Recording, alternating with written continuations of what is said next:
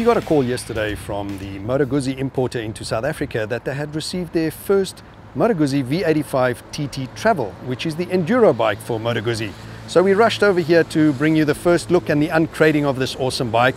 And right at the end of the uncrating, we will have a look at the bike, review it, and show you all the accessories that are standard to this beautiful model.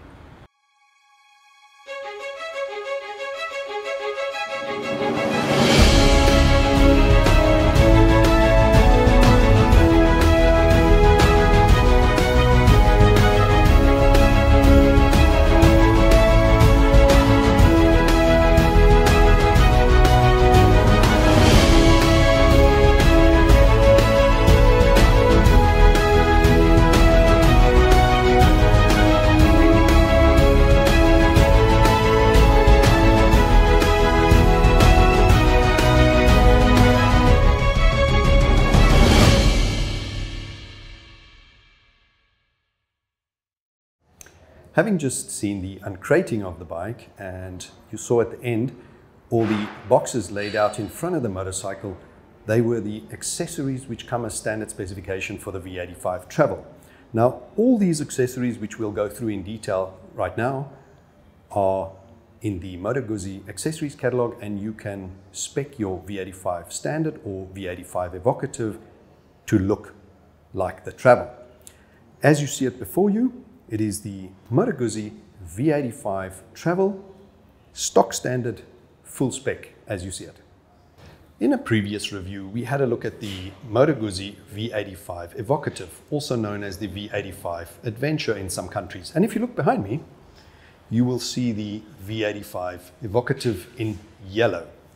Now, just to recap, at the 2017 EICMA Motor Show, Moto showed their concept of this V85 and shortly thereafter launched it as the V85 base model. Then came the V85 Evocative, and at the 2019 EICMA Motor Show, they showed the concept of the enduro bike, which is known as the V85 Travel, and then launched it in 2020. Now let's have a look at how this bike gets its designation. Unlike the other models, this is now not a decal anymore, but a proper badge finished off really nicely with chrome. And what it stands for, the V is the very iconic Moto Guzzi 90 degree V-twin air-cooled motor in a transverse location. The 85 is the 850cc, more accurately 853.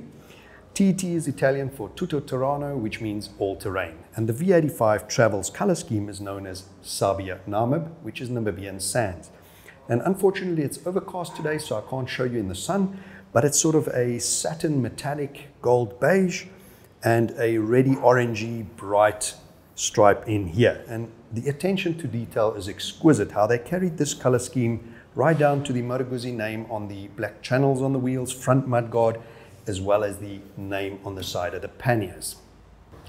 Looking at the accessories that are standard with a travel model, starting at the back of the bike, you have your two panniers right and left, in plastic with aluminium accents.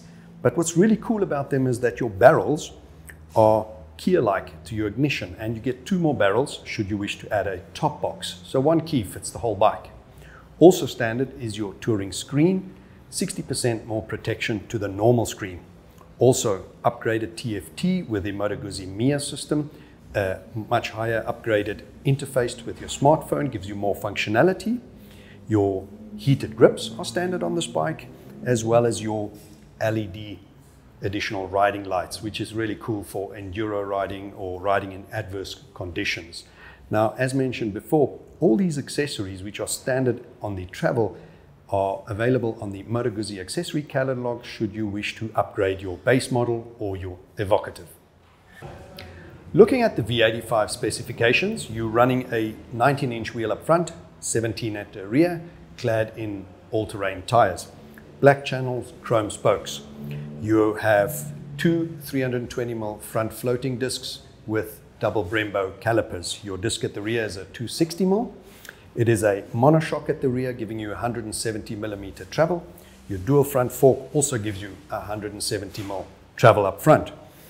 What's unique to this bike, it's the only under 1000cc motorcycle to run a final drive as a shaft drive, which is really cool for enduro and all-road terrain riding, no maintenance. You have a six-speed box, dry clutch, And as mentioned before, a 850cc air-cooled V-twin in the transverse position, giving you 80 newton meters and 80 horsepower, which is quite amazing. It equates to about 100 horsepower per liter. Your tank capacity is 23 liters, which should give you comfortably 400 kilometers. Your seat, center of gravity low, low slung seat, nice bump stop with a Moto Guzzi logo in on it, true to Italian finishing, two-tone stitching all around, really exquisite build quality. You're sitting up high, wide handlebars, clean clinical cockpit. And you know what? The printed media does not do this bike justice. You have to see it in the flesh, which makes us quite excited for the upcoming V85 Centenario. So remember, if you enjoyed this episode, please click like and subscribe. Bye.